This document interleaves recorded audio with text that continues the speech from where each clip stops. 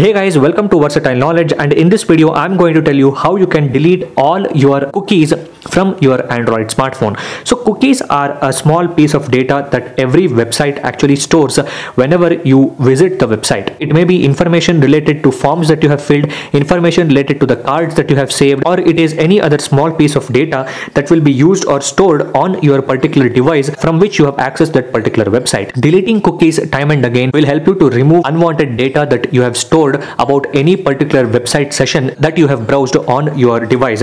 It may be a smartphone or it may be a computer. I am going to tell you how you can delete all those cookies from your Android smartphone. First thing you have to do is just go ahead and open the Google Chrome web browser. So here in the Google Chrome web browser, you will be having the settings option over there. Just go to the settings over there. As you can see, we have the settings option over here and here in the settings, you will have something called as privacy and security. Privacy and security that is present over there. Here we have option of clearing the browsing data. So as you can see, we have the option to clear the browsing data over there. Just go ahead and open clear the browsing data.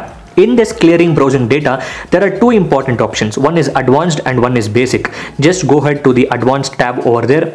Here we can clear the browsing data based on different parameters. We can clear browsing history, we can clear cookies only, we can clear cached images, you can clear auto form fill data, we can clear many other things like saved passwords as well. But instead what we will do is we will have to clear only the uh, cookies from different websites. So just go ahead and uncheck other options as you can see I've just checked the cookies option over there and I am going ahead and just clearing the cookies from our Android smartphone. As you can see there is the cookies that is present but when you're deleting cookies you won't be signed out of your Google account from your Google Chrome browser or on your Android device as well just go ahead and click on clear data. It will only clear the cookies that was saved from multiple different websites that was saved on your device.